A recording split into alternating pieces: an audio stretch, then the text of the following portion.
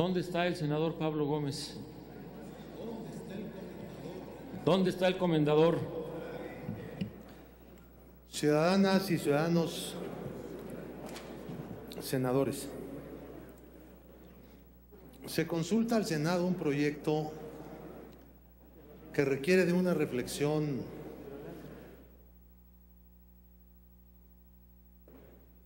detenida.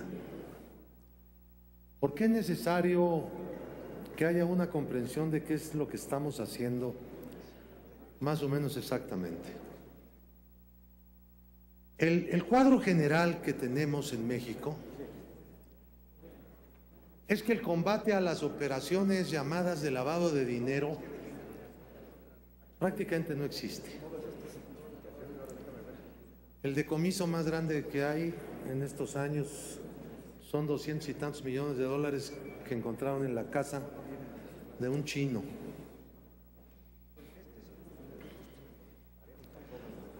Fue un afortunado accidente. En México el gobierno no está en esto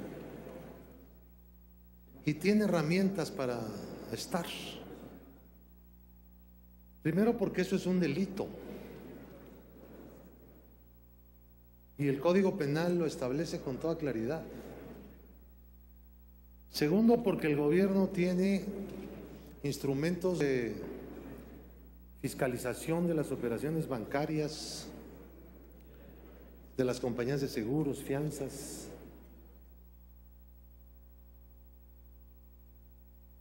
Porque puede intervenir también en el mercado de metales preciosos. Porque tiene una cantidad de organismos reguladores.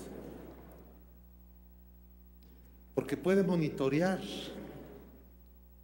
exactamente lo que necesite monitorear de actividades sospechosas, porque tiene Comisión Nacional de Valores,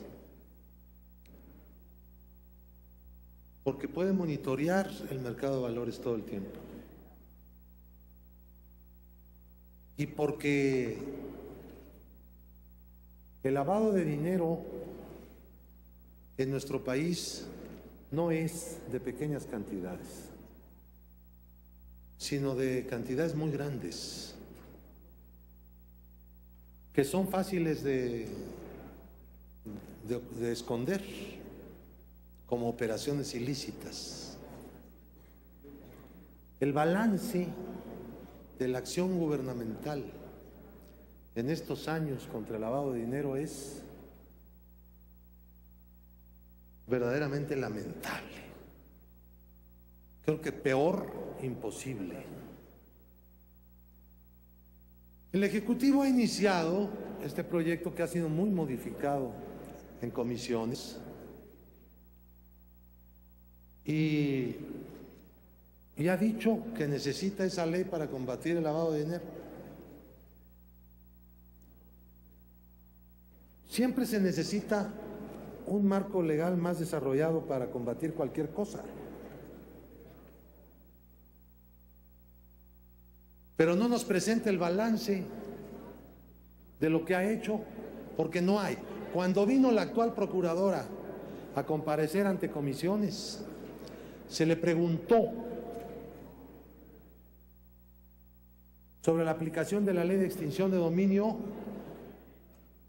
que nosotros confeccionamos aquí como Cámara de Origen. Está en vigor, que costó mucho trabajo expedirla, que el Ejecutivo no quedó plenamente satisfecho con todos los textos, pero que no se aplica. Entonces, ¿cuál es nuestro papel aquí? Hacer leyes que el gobierno no aplica y luego nos manda otras leyes que tampoco va a aplicar y luego nos manda otras. Ya, ya llegó otra, otro, otra iniciativa. Bueno, para la acción penal contra personas morales.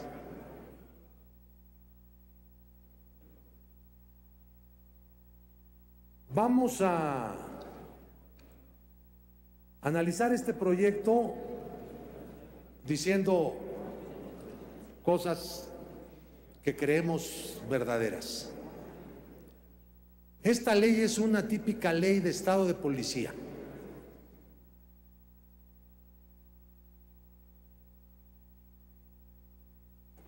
Convierte a los intermediarios financieros y a una serie de empresarios que tienen relación con el público. Convierte a los notarios, corredores, comerciantes de metales. Convierte a otras empresas en auxiliares de una acción policíaca. No que realiza la policía, señor presidente, sino que es acción policíaca.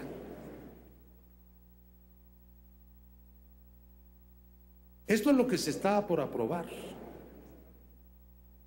Esa es una parte, pero hay otras partes. ¿Es necesario hacer esto? Sí, es necesario. ¿Por qué es necesario? Porque el lavado de dinero es gigantesco y porque a las organizaciones delincuenciales más organizadas no se les combate a balazos solamente, sino básicamente atacando los recursos que son producto de las actividades ilícitas. Entonces, el Congreso está obligado a dar esa ley, porque hasta ahora el gobierno no hace nada contra el lavado de dinero, con la esperanza de que haga algo, aunque sea del corte típicamente policial. Yo comentaba con un colega que esta crítica a la situación lamentable en la que estamos, en la que avanza la tendencia hasta el estado de policía, tiene mucho que ver con la ineficacia, la ineptitud del mismo gobierno que promueve el estado de policía. Del mismo. Es decir, Calderón nos pide un estado de policía y todo lo que las herramientas que en ese sentido se le han dado las aplica con absoluta ineptitud.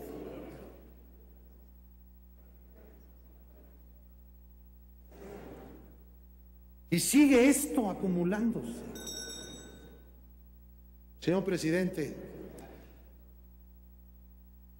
después de mí vendrá el senador que a responderme. Como me está haciendo señas, no sé a quién hacerle caso. A usted que está con la campana o a Krill que está haciendo señas de manager de béisbol. No, no le haga señas al senador, por favor. Sí, se toca la oreja y... ¿Qué es esto? Culmine, señor senador Pablo Gómez, inmediatamente después le damos la palabra. Usted me va a permitir dos minutos para concluir. Sé que es bastante atento y considerado.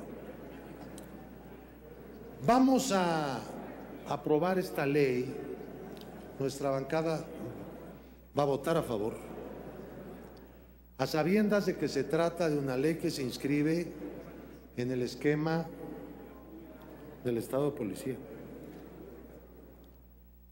A sabiendas de que en México no se persigue el lavado de dinero y como una especie de acto desesperado por hacer algo frente a la inacción del gobierno.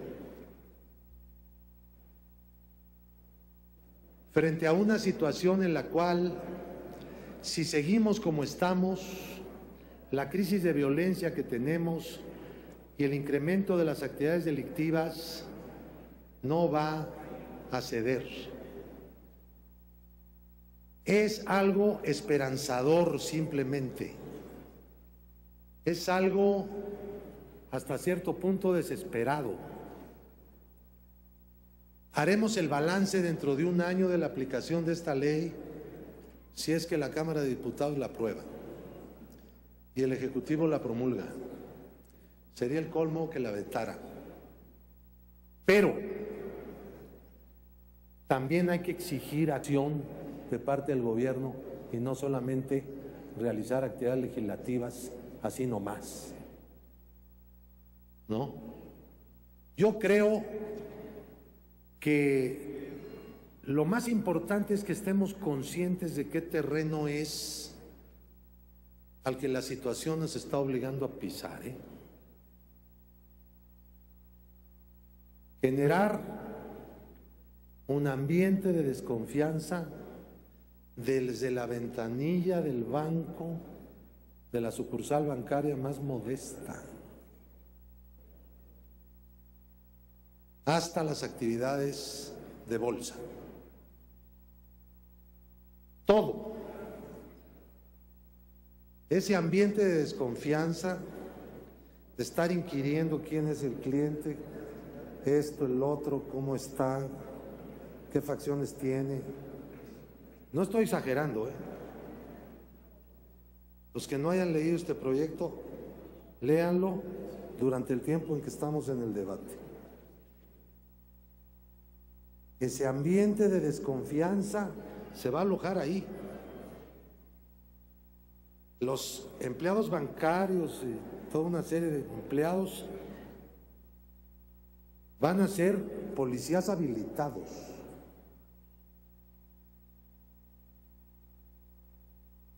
A final vamos a ver resultados, no lo sabemos.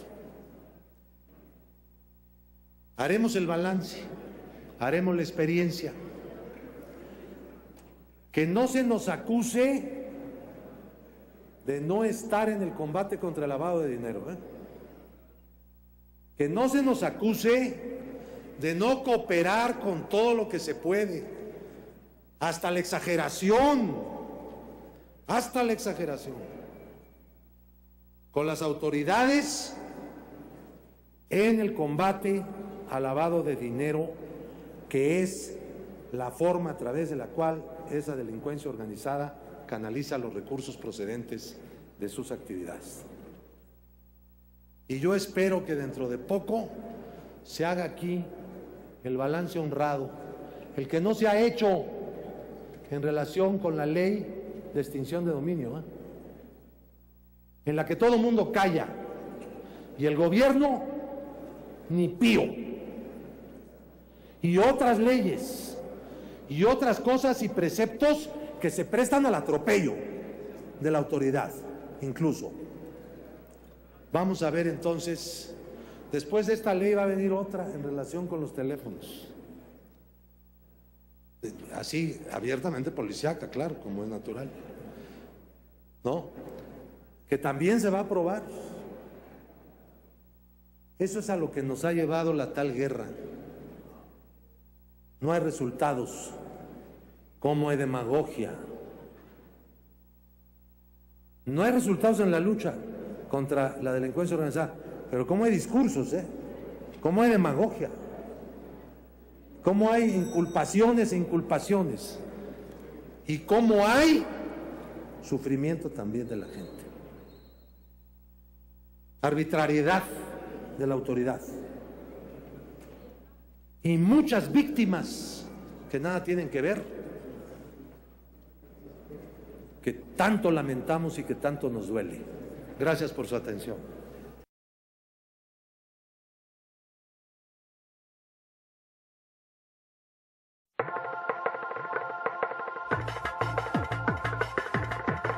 Senador Pablo Gómez, ¿con qué objeto?